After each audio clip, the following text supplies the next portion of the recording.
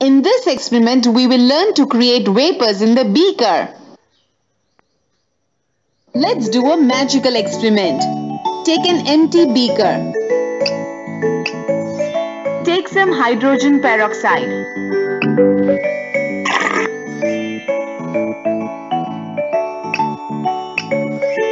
Add some manganese dioxide.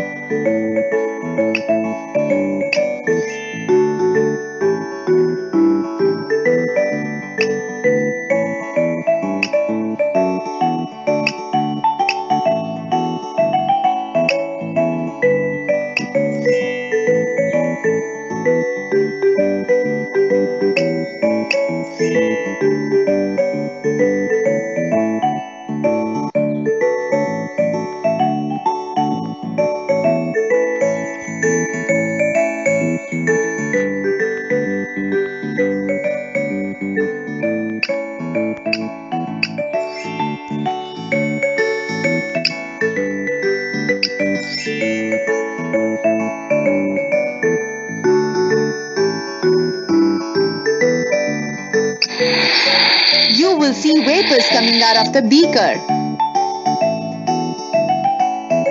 We can see that the vapors are created because of the chemical reaction between hydrogen peroxide and manganese dioxide.